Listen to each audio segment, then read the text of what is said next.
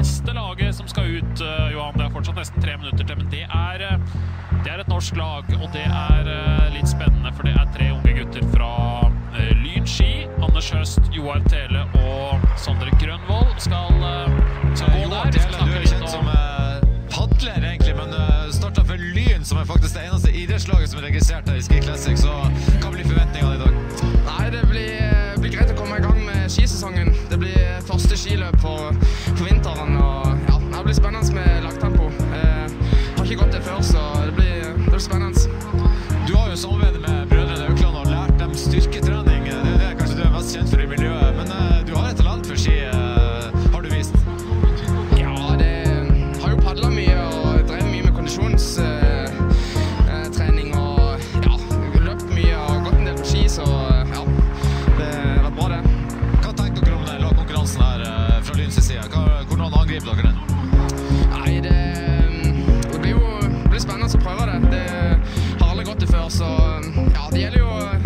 Samarbeide som et lag og ja, få, få det til å fungere.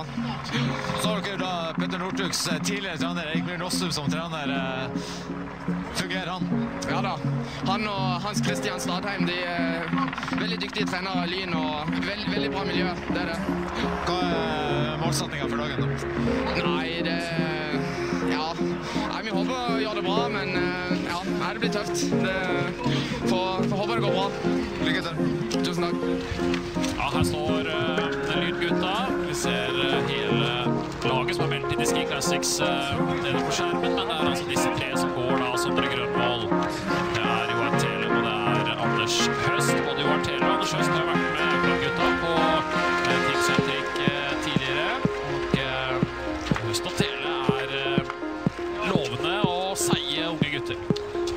Høst har jo gått uh, også som eh, trener.